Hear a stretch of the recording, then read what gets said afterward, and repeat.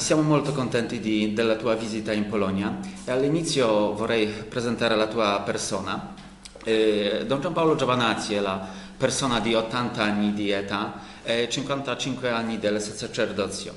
Eh, da tanti anni ha cominciato mh, mm, rapporti, gemellaggi con la nostra diocesi. Eh, vorrei fare qualche domanda di di ultimi anni di questo rapporto. Volentieri, sì.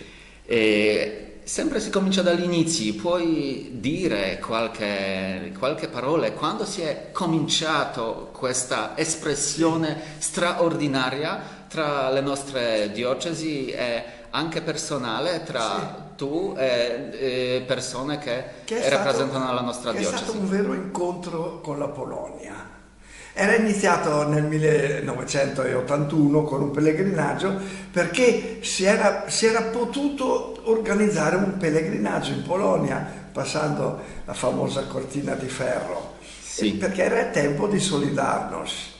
Eh, e, e c'era sembrato un po' un popolo in euforia, in, eh, con la gioia del... ma in dicembre è finito tutto e io ero direttore della Caritas e allora nell'82 eh, ci hanno fatto presente la Caritas internazionale che c'erano dei bisogni urgenti perché molte famiglie dei, degli operai di Solidarnosc eh, erano in difficoltà col, col, col capofamiglia in prigione, non, non, c'era poco da fare. E allora ci hanno indicato la Caritas di Trento ha indicato eh, Lublino come uno dei, dei, posti più lontani per dire voi che siete già sul confine dell'Austria andate più lontani e sono arrivato a, nello, nel dicembre 1982 a, a, a Lublino. Ma per, perché Lublino? Qual è la scelta della nostra diocesi? Perché c'era, c'era un gruppo di, di studenti che avevano partecipato a un pellegrinaggio alla Madonna di Cestokova e avevano conosciuto eh, giovani di, di, Lublino, quindi avevano uh-huh. eh, questo nome Lublino, eh, cioè andate, andate, a Lublino che conosciamo qualcuno. Uh-huh. e allora è stato quasi casualmente che siamo, siamo arrivati, così come casualmente abbiamo incontrato il seminario, perché dopo aver eh, scaricato il tir, eh, erano 260 quintali di materiale vestiario, eh, eh, di indumenti eh, alimentari al seminario. siamo andati a salutare il vescovo Pilac, no, ci ha salutati, anzi ci ha detto il vostro dono è, è, importante perché ne abbiamo bisogno, ma più importante è la vostra presenza che impreziosisce il dono, perché crea fraternità.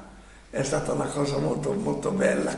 Poi siamo andati fuori sulla, sulla piazza davanti al, alla cattedrale e, e, parlando ero io, un mio collaboratore, passa un sacerdote e ci chiede, siete italiani? Sì, abbiamo detto, come, fa, come mai conosce l'italiano? Ho studiato a Roma, dice, sono, era Don Stanislao Mojek, dice vado a fare una lezione all'università, poi ritorno, ci troviamo e vi porto in seminario per il pranzo.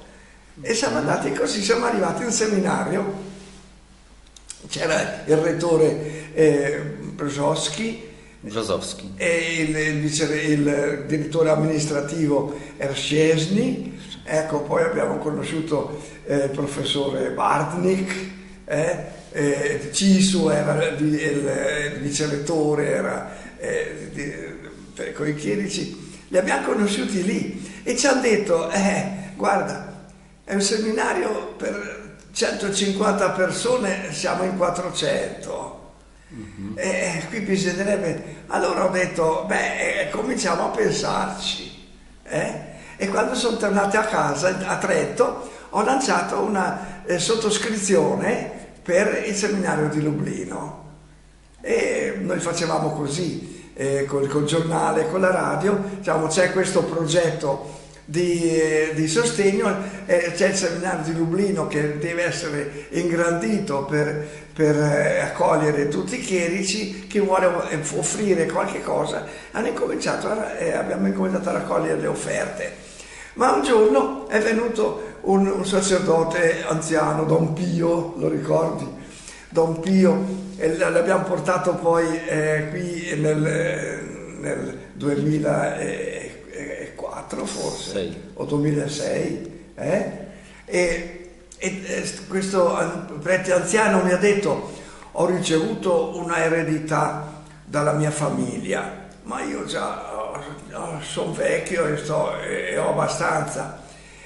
Ho un appartamento no, eh, che mi è, mi, è, mi è stato dato io lo vendo e vi porto i soldi per Lublino. Dico, va bene, grazie. Ci ha portato 110 milioni di lire italiane a quel tempo, era una cifra, nel, quegli anni lì, 83-84, era una cifra astronomica. Mhm. Io penso che è servita, che è stata sufficiente per alzare il seminario.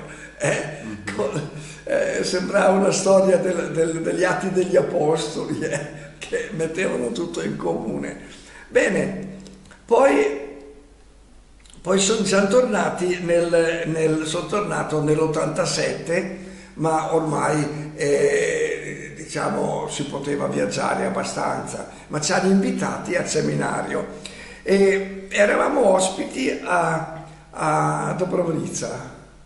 Mm-hmm. Eh? E, e lì eh, sempre eh, eh, il direttore Cesni ci ha detto anche Dobrovica è così, noi dovremmo eh, eh, ingrandirla, restaurarla perché diventa una casa della diocesi per la spiritualità. Per... allora ho detto, beh, vediamo. Sono tornato a Trento e ne ho parlato con il direttore del centro pellegrinaggi che avevamo a, Trento e mi ha detto, ah, prendiamo noi però come, come progetto del, del, del centro eh, pellegrinaggi. E di fatti hanno finanziato tutta la, la, la casa di Dobrovica. Poi in seguito, eh, io sono venuto ancora nel 90, ormai eh, era, mm-hmm. la, si respirava la libertà e poi nel 92 per eh, l'inaugurazione dell'università.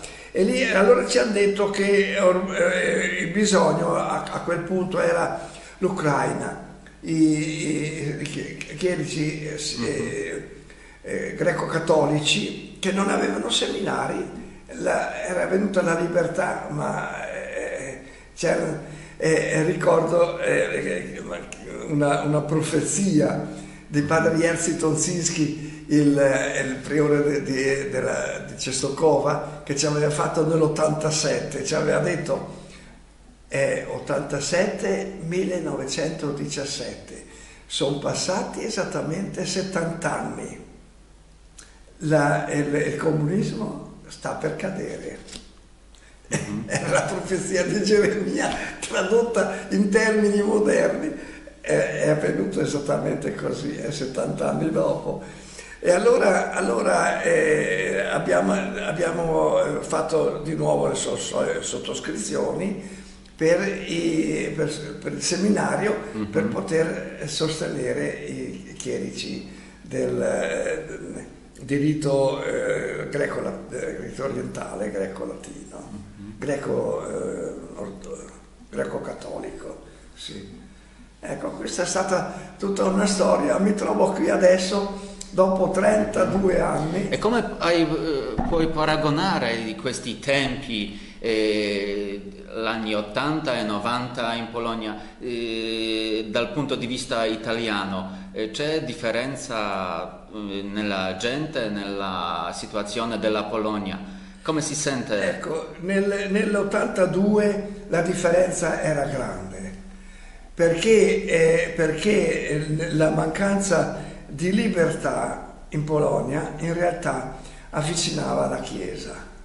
E la Chiesa era l'unico spazio lì di libertà, libertà interiore, no? mm-hmm. dove si poteva ascoltare la parola di Dio liberamente, dove si poteva eh, evangelizzare.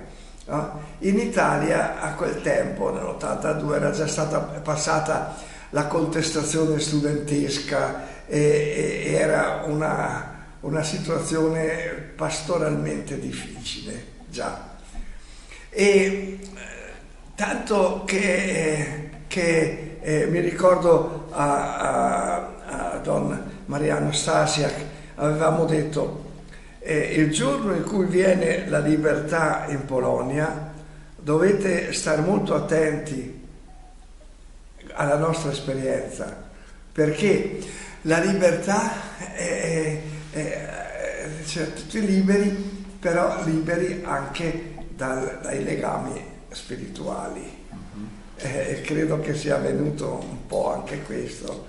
Eh, le sue esperienze eh, nel tema di eh, le, le, robe più che, che, ti sorprendeva mm, nei tempi di, di 80 in Polonia?